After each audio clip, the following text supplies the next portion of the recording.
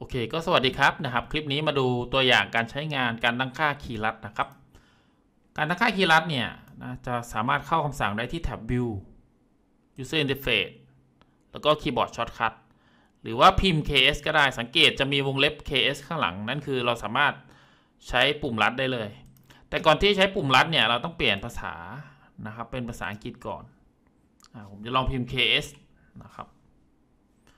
ก็จะเห็นหน้าต่างการทำงานแบบนี้ ข้างบนเนี่ยไป search หาคำสั่งเช่น ผมอยากหาคำสั่ง copy นะครับ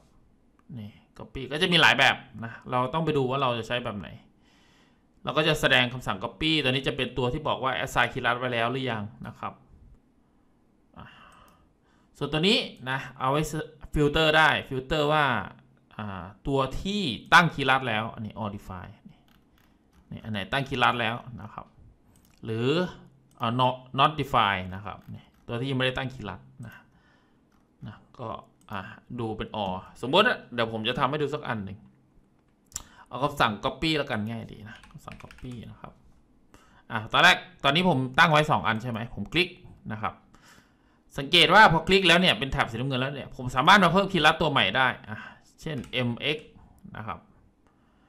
กด assign อย่างเงี้ยนะเพิ่มเข้าไปใหม่ได้ หรือลบออกได้ ถ้าลบออกต้องมาเลือกเอาว่าจะลบตัวไหน remove ออก remove ออก remove ออกอย่างเงี้ยนะครับอ่าเดี๋ยว assign เข้าไปใหม่นะ co ก็ได้นะ co assign นะครับ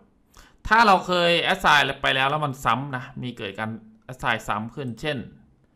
เอ่อเอาตัวนี้ล้วกัน select link นะ md นะ md assign นะครับ มันจะขึ้นแบบนี้นะ มันจะขึ้นแบบนี้ ซึ่ง ถ้าถ้าเรากดโอเคเนี่ย มันจะยอมให้เรา assign ได้ แต่ว่าเนี่ยเห็นไหมครับ duplicate are allow คือ assign ซ้ำเนี่ย สามารถยอมได้ แต่ว่า arrow key view cycle to match display in status bar นั่นหมายความว่าเวลาเรากด md นะ สมมติเรากด md นะ มันจะมี status bar มันจะขึ้นตรงเนี้ยนะด้านล่างเนี่ยนะครับ เราให้เราใช้ arrow key ซ้ายขวาในการในการเลือกว่าเราจะใช้คำสั่งไหนนะครับอ่าลองกดโอเคนะ อ่าลองดูนะครับกดโอเคผมพิมพ์ md นะ md อ่าไหมครับ modify หรือว่ากดใช้ใช้ซ้ายขวานะกดปุ่มซ้ายขวาอ่าอย่างเงี้ยนะครับ แล้วก็ที่ไปดูเมื่อกี้ที่ผมเข้าคำสั่ง copy ไว้ใช่ไหมครับตัวนี้อ่าเห็นไหมครับเนี่ยวงเล็บ co ผมก็จะสามารถสร้างสร้างชิ้นงานหรือหรือทำงานโดยใช้ปุ่มลัดได้ CO อ่าอย่างเงี้ยนะครับ อ่าอะไรประมาณนี้นะครับ ก็ทำให้ดูง่ายๆนะครับ CO ปุ๊บอ่าแบบนี้นะครับ ก็สำหรับคลิปนี้นะครับ ก็จบเท่านี้นะครับ สวัสดีปีใหม่ทุกท่านครับ สวัสดีครับ